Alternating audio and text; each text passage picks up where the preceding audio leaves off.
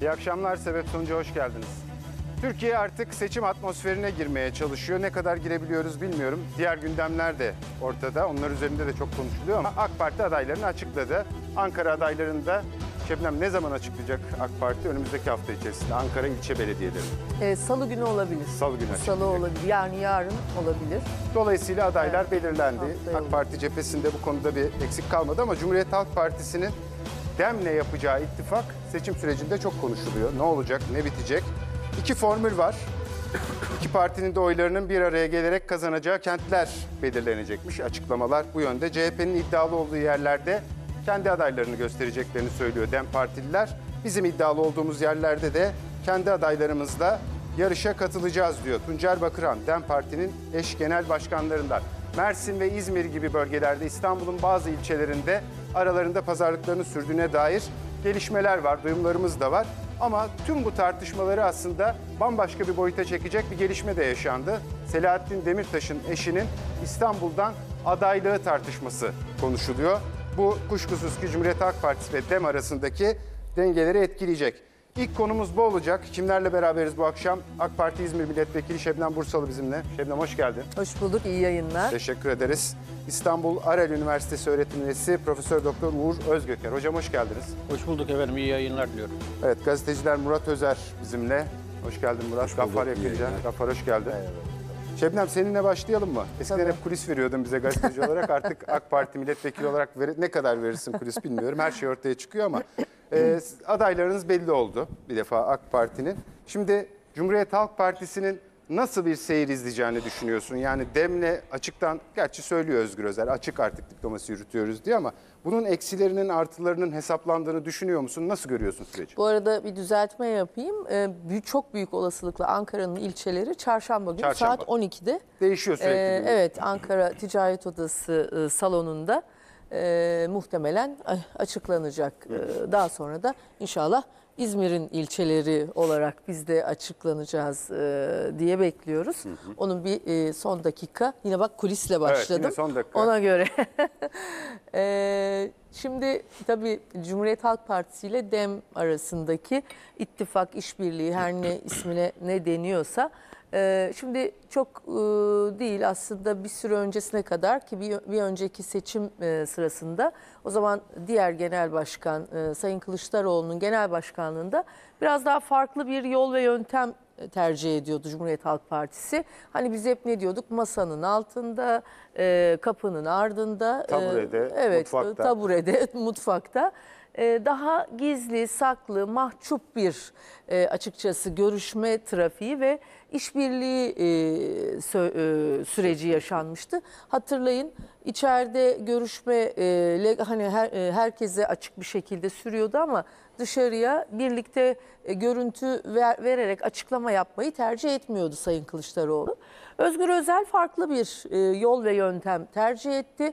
E, hatırlayın e, seçildiği ilk e, kurultayda e, orada zaten hemen Demirtaş'a e, öncelikle bir selam yolladı. E, ardından seçilir seçilmez hemen deme gitti. E, efendime söyleyeyim işte Türkiye'yi işgalci diyen bir sanatçının e, elini e, öptü. E, her ve bunlardan da hiçbirinden de pişman olmadığını söylerken kırmızı halılarla e, genel merkezde partinin genel merkezinde görüşmeye devam etti ve bunu da açıkça ilan etti. Dedi ki hiçbir şekilde ben gizli saklı değil çok açık bir şekilde bu pazarlığı devam ettireceğim dedi. E, burada yani dem daha farklı aslında bir yol yöntem izliyor. Hani baktığınızda Cumhuriyet Halk Partisi daha istekli, daha arzulu bir e, bu süreci e, e, başlaması ve devamından yana bir e, görüntü sergilerken dem sanki biraz daha ya öyle de olur, böyle de olur. En son işte bugün e, Demirtaş'ın eşi Başak Hanım'ın e, adaylığı İstanbul'dan e, adaylığı e, ile ilgili açıklamasından sonra daha farklı bir e, e, şey görüyoruz, e, ifade görüyoruz. Yani e, açık söyleyeyim e, dem e, hiçbir şekilde zaten e, hani e, mış gibi yapıp e, Cumhuriyet Halk Partisi'nin güçlü olduğu yerlerde daha iddiası düşük adayları çıkarıp sanki hani aday çıkarıyormuş gibi yapıyor açıkçası. Ama bazı yerlerde de zaten çoğu yerde de aday çıkarmadığını, çıkarmayacağını da görüyoruz. Yani büyük şehirde çıkarmıyor.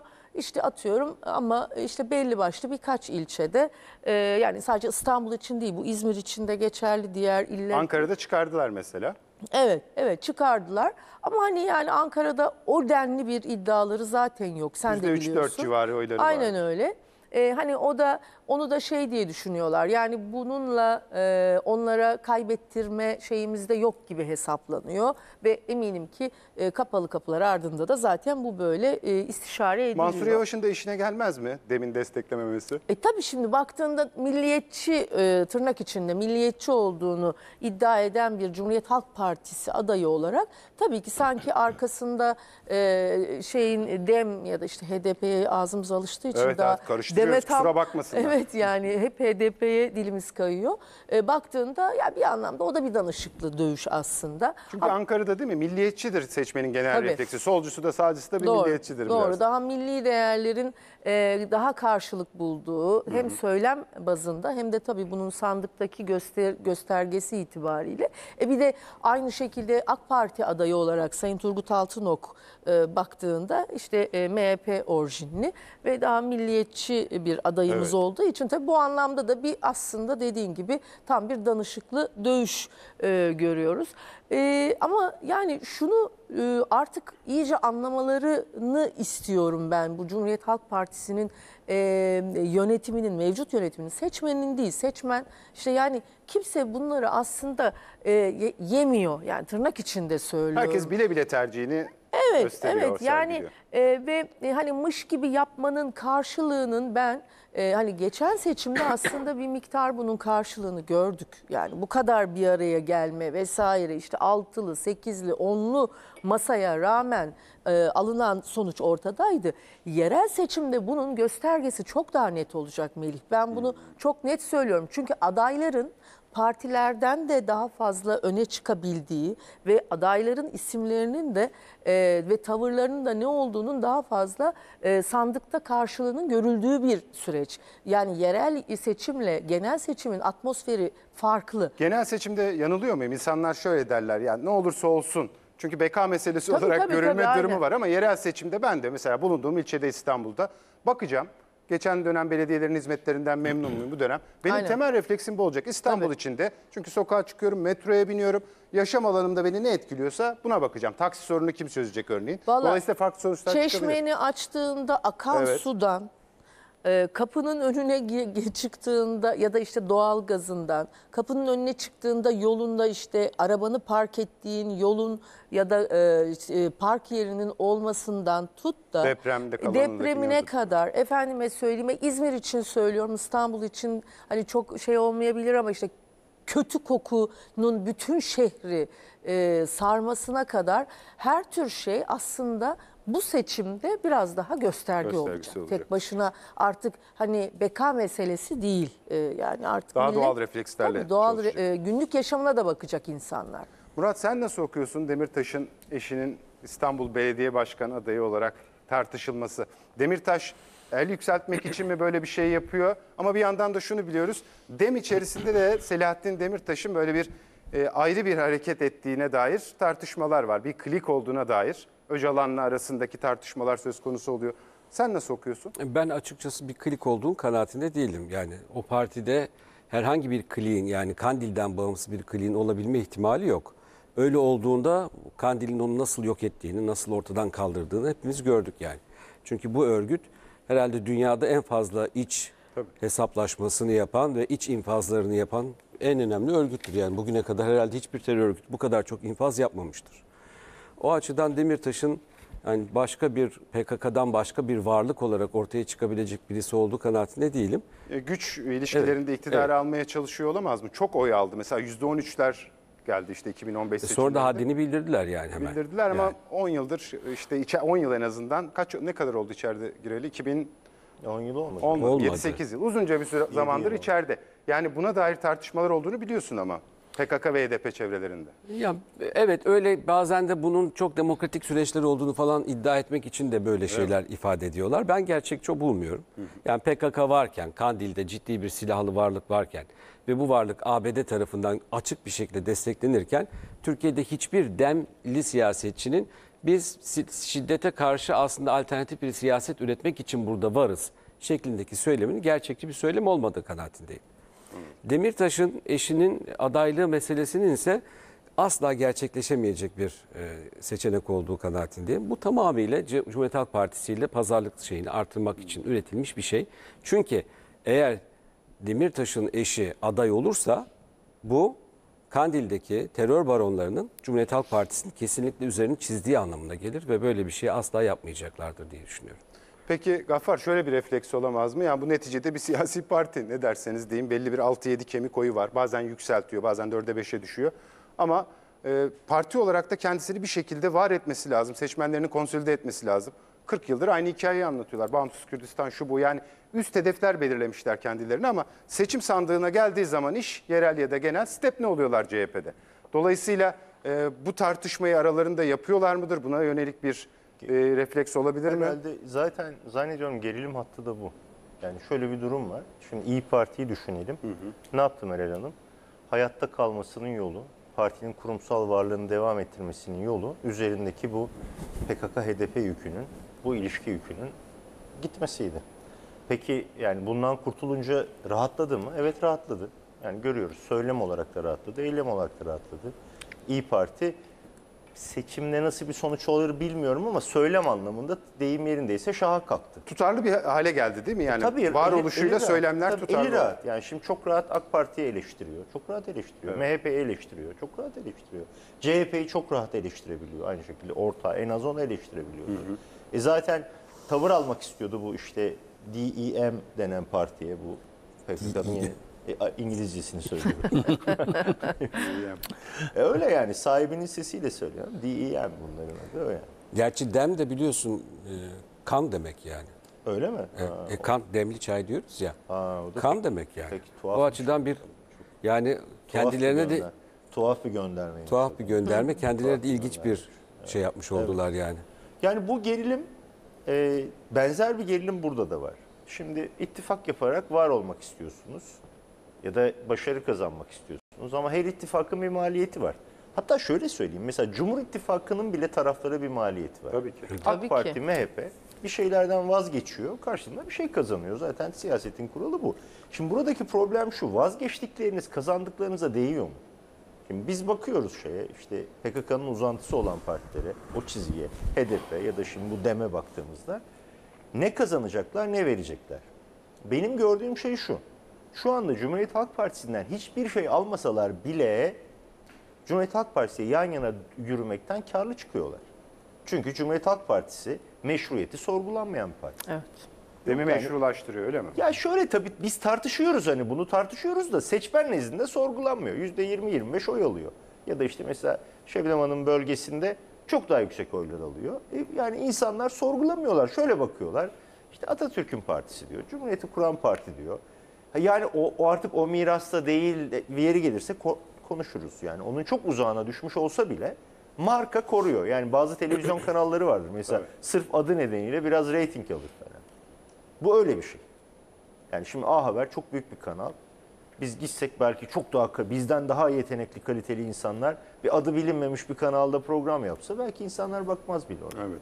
İşte burada da benzer bir durum var. Şimdi bu gerilim onun için senin söylediğin önemli. Yani büyük ihtimalle içeride tartıştıkları şey şudur. Bir yanda iradelerini teslim ettikleri bir kandil var. Bunu tartışmaya gerek yok. Herkes biliyor, kendileri de söylüyor. Hatta böyle oy alıyorlar yani. O bazı bölgelerden böyle Tabii, oy tabii. alıyorlar. Bir yanda o var, onun basıncı var. Diğer yanda avantajlı oldukları bir ne diyelim e, bir faktör, avantaj getiren bir faktör. Demirtaş, Demirtaş'ın hapiste olması. İyi markalaştırdılar onu çünkü. E Şimdi ne yapacağız? Biz seçime kendi başımıza girelim ve kurumsal varlığımızı sürdürecek bir zemin demokratik sistem içinde elde edelim. Ya da girmeyelim. Önemli olan asıl Kandil'in arzu ettiği şey. Meşruiyet alanını elde edelim. Şimdi birincisi bu DEM Parti içinde gerçekten sivil siyaset yapmaya niyetli olan insanlar varsa birincisi onların işine yarar. Şöyle bakarlar derler ki biz bağımsız siyaset yaparsak eğer meşruiyet kendi varlığımız, sivil varlığımız genişler, Kandil karşısında gücümüz artar ve artık bu bir parti olur, gerçek parti olur. Yani kimse de bize şey diyemez. Ya oradan talimat alıyorsun falan diyemez. Ama ikincisini de Kandil ister. Teröristler ister. Onlar da diyorlar ki ya sizin kurumsal varlığınızın bir önemi yok. Siz kimsiniz? Biz istediğimiz zaman siz kurulursunuz, istediğimiz zaman kapanırsınız. Onun için bizim talimatımıza göre gideceksiniz. Onun için ben şuraya bağlamak istedim. Eğer DEM Parti kendi başına bazı adaylar çıkarırsa bu Kandil'den bir nebze bağımsızlaştığı anlamına gelir. Ne olur onu bilemem. Ama bir nebze bağımsızlaştığı anlamına Şunu bir saptayalım mı? Yani Selahattin Demirtaş'ın ben içeride verdiği mücadelenin bir liderlik mücadelesi olduğunu düşünüyorum. Selahattin Demirtaş'ın partiyi silahlı mücadeleden PKK'dan koparacak bir perspektif izleyeceğini düşünmüyorum. Aynı fikirdeyim, Yani aynı, aynı eğer Selahattin Demirtaş öne geçecekse e, belki APO ile mücadelesinin önünde bir yere geçiyor. Belki o olabilir evet. Belki olabilir. Yani şunu söyleyeyim bence Ya o bu tespit, ona direkt bu sesleniyor tespit, da. bu tespit önemli. Demirtaş PKK'nın sivil alana çizdiği o dairenin dışında bir şey istemiyor. Onu önermiyor. Onu biliyoruz. Zaten kendisi bir terör hükümlüsüdür. Tabii, tabii, Terörden hüküm giydi. Yani öyle bir şey şansı Ve yok. hüküm Onu- giydiği davada yani Yasin Börü'nün de e, katledildiği olaylar öyle düşünün. Hüküm giydiği davada o davadaki hareketi kendi hareketi değil o parti kurulunun hareketi e, işte Kandil'den aldıkları emirle yaptılar. onu. Tabii, tabii. Yani terör örgütü onlara dedi ki böyle deyin dedi. Onlar da öyle konuştu. Hatta Yani şu, bu- Onun için Öz- o hayalcilik olur. hatta şu Buyur, buyur Muratçım. özür dilerim. Estağfurullah rica ederim lütfen. Ha, yani Zaten şu Abdullah Öcalan'ın terörist terörist başının sözünü unutmayalım. İmralı görüşmelerinde HDP'li milletvekillerini azarlamış tutanaklarda var değil Evet. mi? Tabii. Ne diyor onlara? Ya siz bir siyasi partisiniz. Bu kadar da kandilin sizi belirlemesine izin vermeyin. Dolayısıyla o ikisi arasında Örgütün Kandil ve elebaşı İmralı bir kavga var. kendilerine kadar yani. Yani Demirtaş da bunu reddetmemizi gerektirecek hiçbir açıklama yapmadı. Çok sert açıklamalar yaptı ama Türk solunun bir kesimi onlarla ilişkilenmek isteyenler Demirtaş'ın üzerine böyle bir beyaz gömlek giydirmeye çalışıyorlar. Sanki Cinderella- Demirtaş'ın böyle bir istevi var gibi. Ya o yüzden. Cinderella masalı görüyorlar ya. Bir kül kedisi görüyorlar orada. İşte hapsedilin. Ya böyle bir saçmalık yok. Bu adamların eli kanlı saçmalamayın Evet. ya. Eli kanlı. Başka bir şey daha söyleyeyim. Bu kadar bağımsız iradesi olan bir parti. Cengiz Çandar'ın ne hayrı vardı sen onu koydun milletvekili yaptın? Hadi konuşalım. Cengiz Bey'in ne hayrı var? Yani zaten son 8-10 yılı gitmiş İsveç'te geçirmiş. İşgal ettiği yer belli. Türkiye solunda bile işgal ettiği yer belli. Öyle söyleyeyim. E siz onu niye koydunuz? Hani siyaseten size katkısı ne? Size bir katkısı yok. O Kandil'in bağlı olduğu siyasete bir katkısı var. Öyle seçilen bir isim. Partinin son dönem yapısı da öyle şekillendiriliyor. Bakırhan daha ılımlı bir isimdi eskiden beri gelen. Yanına daha sol fraksiyondan birileri e, eklemlendiriliyor. Hatta bir Türk, mesela Sezai Temelli, dev yolcuydu eski. Ben yanlış mı biliyorum? şair. Se- yani Sezai Temelli HDP'de ya da Mithat Sancar. Bir gün gazetesinden hatırlıyorum. Mithat Sancar başka bir unsur olarak getiriliyordu. Sürekli DEM ya da HDP geleneğinde böyle bir refleksin işlediğini görüyoruz. Bu, bu ama bu bir strateji ve bu strateji Sırrı Süreyya da Evet. öyle. Yani Bu baktığında stratejinin- daha sanatçı vesaire. RCK Meclis başkan vekilliği gibi bir hani e, makamda bugün Ağzı da iyi laf baktığında. yapar, güldürür milleti. Tabii yani o onun yönettiği Bu genel stratejinin kurullar bile daha KCK böyle tarafından farklı. belirlendiğini unutmayalım ama. Doğrudan KCK tarafından belirlendi. Muratçım daha öteye gidelim. Bu stratejiyi kuran kişi şu anda hapisteki terör elebaşı Abdullah Evet. Öcalan'dır. Doğru. Bu stratejinin kuruluş tarihi 1988'dir. 1988'de Türkiye'deki sol örgütler üzerinden Türkiye coğrafyasına, Anadolu satına yayılma stratejisi. Öcalan kendimi düşündü. Ona bazı istihbarat örgütlerin fısıldadı. Onu bilmiyoruz. Ama Türkiye soluna böyle bulaştı. Genelde de en çapsız, en kullanılabilir figürleri seçer. Sezai Bey, Sezai Ama Gezi'de Temelli- o dediğin şey ortaya çıktı biliyor musun? Yani dediğin doğrudur. Böyle bir perspektif var ama o DHKPC'si şu bu ellerin mesela anlaşamadılar. Ama Gezi'de e, Demirtaş o süreç içerisinde hani Kürt sokağının bir şekilde dışarı çıkarılması tartışması, baskısı vardı üzerinde. Ben o zaman netleştiğini, çok somutlaştığını düşünüyorum. Ve Öcalan'a rağmen olduğunu. Ama her o şimdi o bir ısrar sevgili Melih. Yani şöyle söyleyeyim mesela Abdullah Öcalan Yalçın Küçük'e diyor ki yani Yalçın Küçük gibi entelektüeli diyor bir de bunu.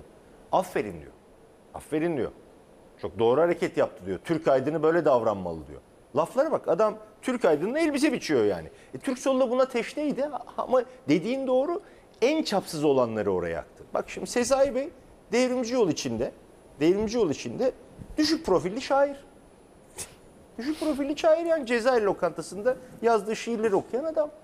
Okuduğunda da 50 kişi varsa 40'ı dışarı çıkar 10 tane kalır orada. Gerçeği söylüyorum. Yaşadığım şeyleri anlatıyorum yani. Sigara. Ama bakın şimdi ne kadar önemli bir siyasetçi haline. Sigara sağlığa Başka nasıl olacak yani? Başka nasıl olacak? Ama Hep kötü şey- alışkanlıkları var sigara da içiyorlar. Yani şunu unutmayalım. Figen Yüksekdağ Demirtaş meselesinde. Yani KCK derken şunu kastetmiştim. Bir proje demişti ya Demirtaş e, HDP'nin. O proje devam ediyor. Neyle proje devam ediyor? Eş başkanlık sistemiyle.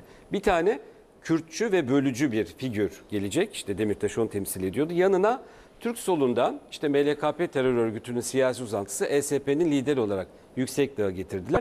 Ve Adanalı bir Türk. Sonrasında şimdiki işte Tülay Hanım e, Samandağlı bir Alevi, Kürt değil. Yanında Tuncer Bey, e, Kürtçü. Yani o Kürtçülüğü diğeri Türkiye solculuğunun bir parçasını da temsil ediyor. Tabii tabii öyle bir eşleşme özellikle Tabii. rastgele seçilmiş Hayır, isimler değil, asla değil. değil. Uğur Hocam peki bu dem siyasetine epey uzun zamandır bir gelenek olarak devam ediyor. Nasıl bir e, katkı ya da olumsuzluk sağlar Cumhuriyet Halk Partisi'nin stepnesi gibi görünmek? Tutabilirler mi tabanlarını?